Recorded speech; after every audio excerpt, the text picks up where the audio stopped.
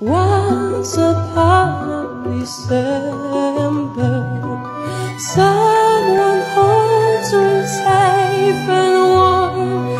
Horses spring.